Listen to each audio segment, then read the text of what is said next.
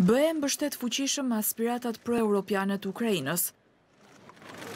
Presidenti francez Emmanuel Macron, kancelari gjerman Olaf Scholz dhe kryeministri i Italisë Mario Draghi u takuan në Kiev me presidentin ukrainas Volodymyr Zelensky për t'u njohur nga afër me kërkesën që ai po bën prej muajsh.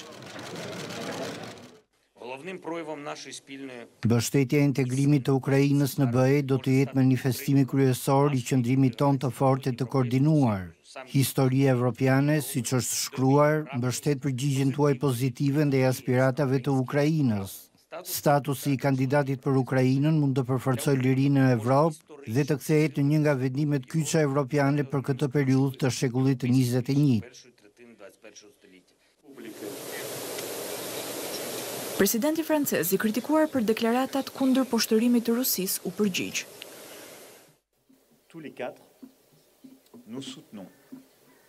Të gjithë ne mbështesim dhënien e menjëhershme të statusit të kandidatit. Ky status do të shoqërohet me një hartë rruge dhe do të përfshijë marrjen parasysh të situatës në Ballkan dhe në rajonin tuaj, sidomos në Moldavi.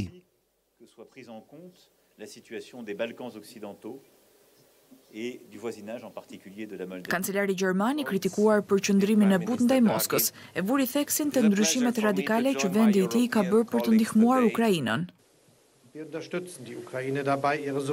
Ne mbështesim Ukrainën në mbrojtjen e sovranitetit dhe integritetit territorial.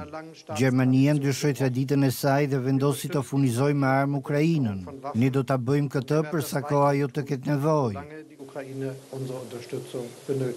Ndërsa, kryeministri italian Mario Draghi tha se shoqëria ukrainase duhet të bëjë reforma të thella, por shtoi se ajo po mbron çdo ditë vlerat e demokracisë dhe lirisë mbi të cilat bazohet projekti europian.